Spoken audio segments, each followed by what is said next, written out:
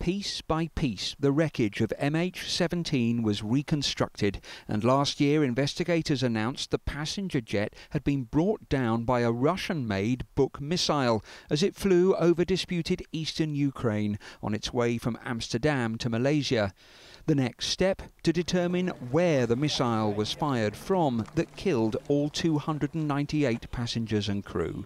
Today, investigators said evidence from witnesses, videos, photos, satellites, and intercepted phone calls all pointed to a farmland location held by pro Russian rebel fighters. And this Buk TELAR was brought in from the territory of the Russian Federation and after launch was subsequently returned to the Russian Federation territory. The team released a map showing the route they claim the launcher took through villages held by pro Russian forces after the missile was fired.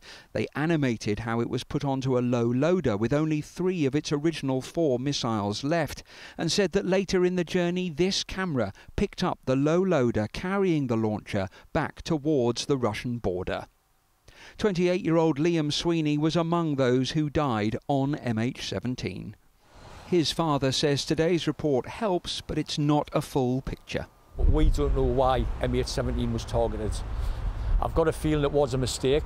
The plane was in the wrong place at the wrong time, and but I'd like somebody needs to be accountable.